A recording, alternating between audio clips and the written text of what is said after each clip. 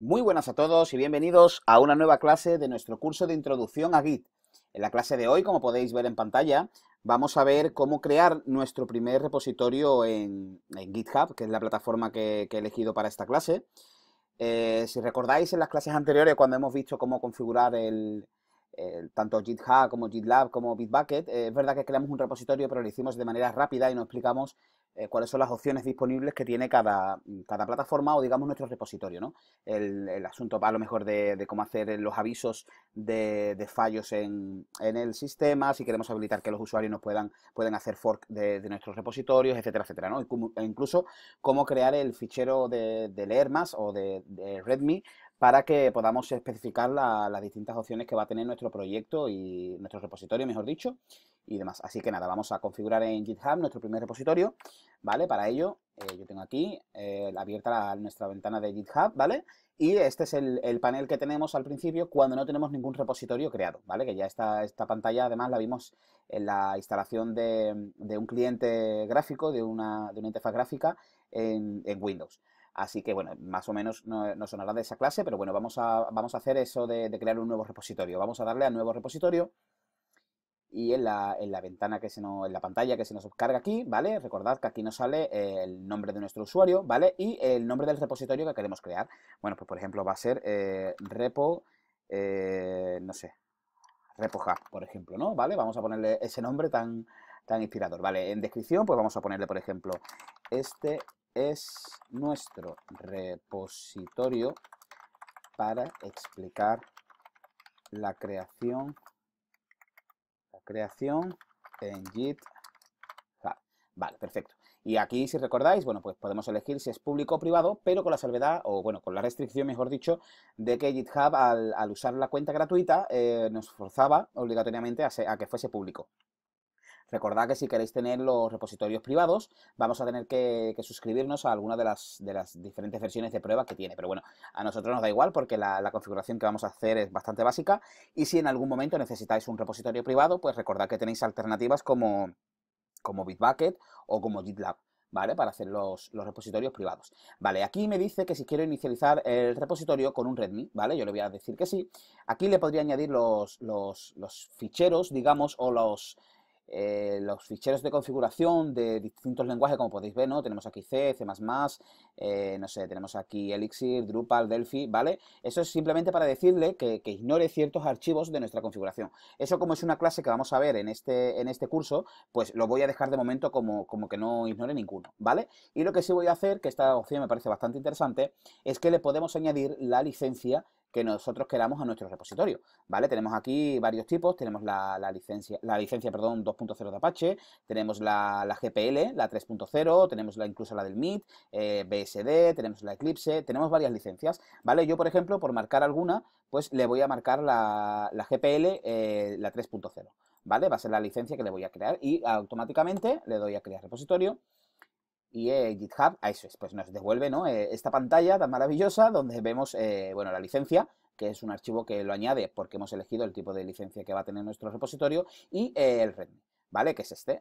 simplemente lo único que hace el contenido inicial del README va a ser siempre pues, el nombre del repositorio, que le hemos puesto RepoHub, y eh, la descripción que le hemos puesto a la hora de crearlo. No preocuparse porque ahora vamos a ver cómo podemos modificar eso del README y demás. Lo, que me interesa primero es que veamos este panel de aquí, que por eso es la, clase específica de crear un repositorio. Eh, la parte de código, bueno, pues como estamos aquí, ¿no? Pues vamos a tener siempre aquí tanto los ficheros sueltos como las carpetas que hayamos creado dentro. ¿Vale? Después vamos a poder también, aquí en Add Topics, vamos a poder decirle los, digamos, los temas o las, las etiquetas de, los que, de lo que va a suponer este repositorio, ¿no? Pues, por ejemplo, le vamos a poner eh, repositorio, por, por, ejemplo, le vamos a poner también SQL, por ejemplo, por ponerle algo, y vamos a ponerle, por ejemplo, Bash. ¿Vale? Que es del Bash Script de Linux, ¿vale? Este me vale.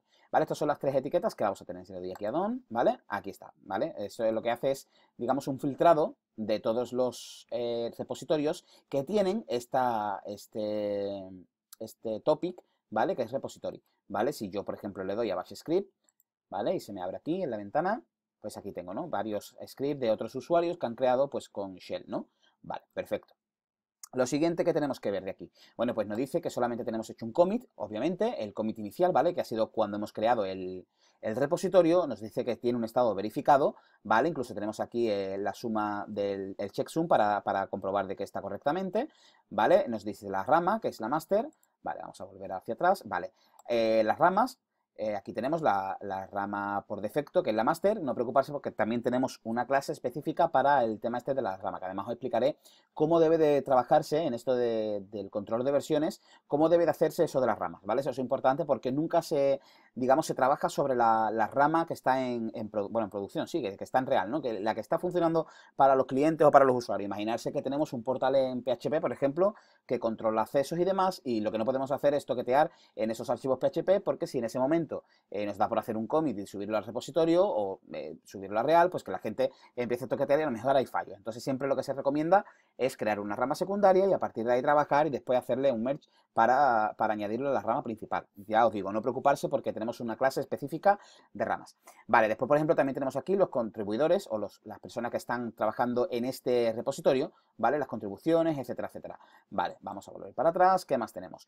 Eh, bueno, pues tenemos, nos indica aquí la, la rama nuevamente, master, eh, nos dice eh, el, new pull request, ¿vale? Que eso es para avisar al propietario eh, que añada nuestros commits de nuestro for privado, ¿vale? A la versión oficial. Os explico un poco esto. Imaginarse que yo, bueno, ahora mismo estoy con mi usuario, ¿vale? De, de Abatic.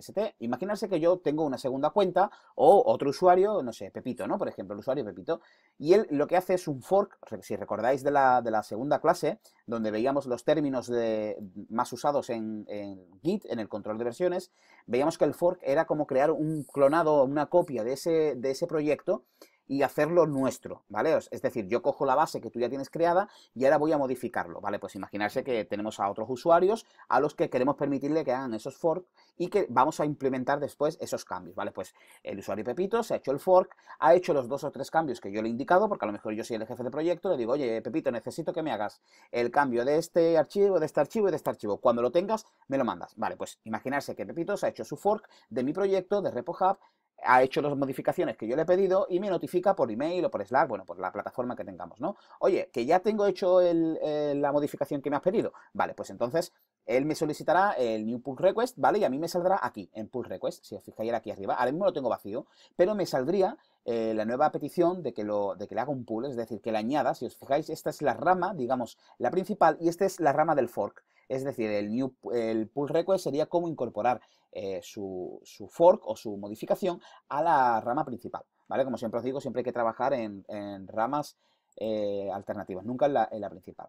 ¿Vale? Pues eso es lo del New Pull Request, ¿vale? Que eso en realidad lo que tendría sentido este botón al usuario que lo esté usando en ese momento, no a nosotros mismos que somos los propietarios de este repositorio. Pero para que lo, tengáis en cuenta.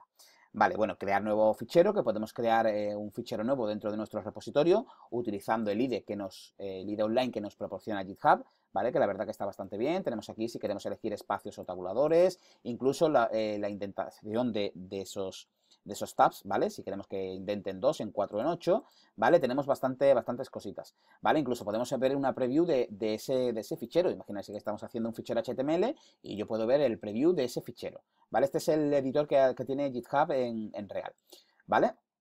Ese es el botón este. Tenemos el upload files por si yo quisiera subir eh, ficheros desde mi ordenador directamente aquí. ¿Vale? Aunque yo, bueno, para hacer esto, eh, pues mejor tenemos un cliente de, de JIT en nuestro ordenador, como vimos, por ejemplo, en la versión de la opción de Windows, que teníamos eh, el Kraken, Git Kraken y el, e incluso el oficial de GitHub, o sea que yo lo haría en vez de, así, lo haría de la otra forma.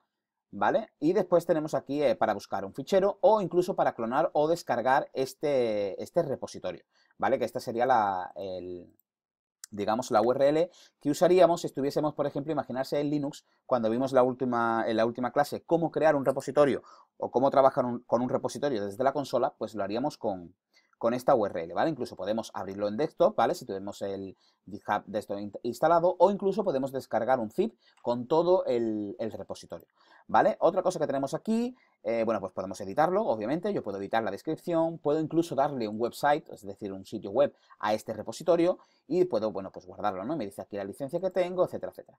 Vale, lo siguiente va a ser la pestaña esta de aquí, ¿vale? Que es bastante interesante. Esto es mm, principalmente problemas. básicamente son problemas. Entonces, lo que hacemos aquí, esto es un histórico de problemas reportados por nosotros o por otros usuarios, ¿vale? Vamos a imaginarnos al usuario Pepito de antes, el que ha hecho el fork. Vale, pues antes de hacer ese fork, él ha estado otro, eh, se ha hecho un clonado eh, de, este, de este, repositorio y ha estado, eh, ha estado toqueteando un poco, ¿no? Para ver si está todo correcto y me abre aquí, ¿vale? un nuevo problema y me dice, oye, que, no sé, hay un error en el fichero login.php. Vale, pues en el momento de que a mí me llega ese, ese problema, esa notificación, yo lo voy a marcar a lo mejor como un, como un bug, ¿vale? Si yo lo doy aquí a new ¿vale? Aquí le voy a poder marcar con una con un título, ¿vale? Y con una descripción. ¿Vale? A mí no me sale lo de, lo de, las etiquetas, pero sí me saldrá cuando me lo manda algún usuario, ¿vale? Voy a poder etiquetar este, ese problema como un bug o, si yo tengo creado las propias etiquetas mías, ¿no? Como a revisar, por ejemplo, etcétera, etcétera. Eso nos va a salir aquí, ¿vale? Eso es importante. Eh, después tenemos también el filtro para filtrar esos problemas, ¿vale? El pull request, que ya sabemos lo que es, lo hemos mencionado antes. Y después tenemos los proyectos, ¿vale? Que tenemos dentro de nuestro repositorio, ¿vale? Otra parte importante, o que a mí me gusta bastante, es la wiki. ¿Vale? Vamos a poder crear una wiki de nuestro propio proyecto para hacer explicaciones, para una documentación general, etcétera, etcétera.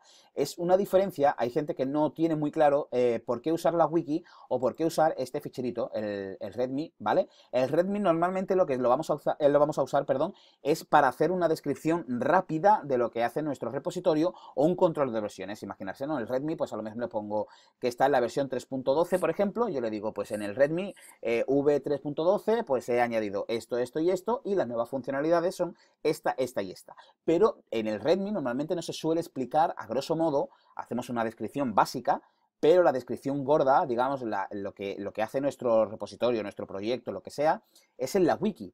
Es como la Wikipedia, ¿vale? Vamos a crear una, una, wiki donde vamos a explicar todo lo que necesitemos con nuestro repositorio, ¿vale? Lo siguiente va a ser esto, ¿vale? Insight, que son las estadísticas.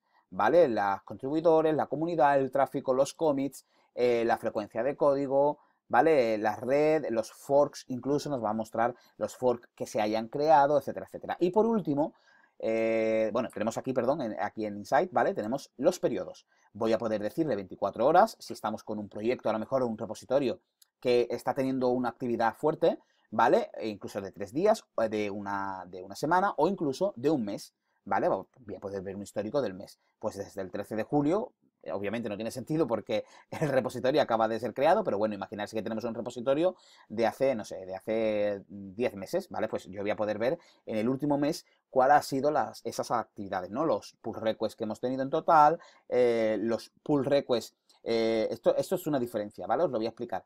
Entre este y este, esto significa que son los pull requests que nosotros hemos eh, incorporado a nuestra rama principal. Y estos son los pull requests que otros usuarios nos van a proponer.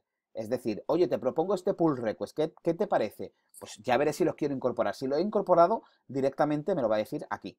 ¿Vale? Eh, esto que son los problemas cerrados, digamos, los errores cerrados y los nuevos problemas que hemos tenido a lo largo de ese mes. ¿Vale? Es bastante, bastante bueno si queremos ver esas estadísticas y demás. Incluso si yo le pongo 24 horas y le digo el commit, pues obviamente hoy lunes tengo el pico del primer commit porque lo estoy haciendo hoy. De aquí para atrás no hay nada, lo he creado hoy, ¿vale? Y en lo último que tenemos aquí en nuestro repositorio es la, la digamos, la, la, pestaña de settings, ¿vale? Aquí vamos a poder cambiarle el nombre del repositorio, obviamente, vamos a poder decirle si vamos a querer tener una wiki, ¿vale? Si vamos a poder eh, restringir eh, la edición a solamente a los colaboradores, es decir, que nadie más pueda editar a no ser que yo le habilite para ello, ¿vale? Si vamos a querer habilitar la pestaña de, de problemas para que la gente nos diga, oye, que tienes este problema tal y cual, ¿vale? Tenemos los proyectos, y después también tenemos esta parte que es, quizás sea la más importante, que es la que GitHub eh, menciona o establece como la danger zone, ¿vale? O sea, es decir, la zona de peligro. Aquí lo que podemos hacer es transferir eh, este repositorio, es decir, cambiar el, el, propietario. Es decir, si yo le doy aquí, voy a mandarle mi repositorio, no va a ser un fork ni un clon, no, sino que directamente le voy a asignar mi repositorio a ese usuario.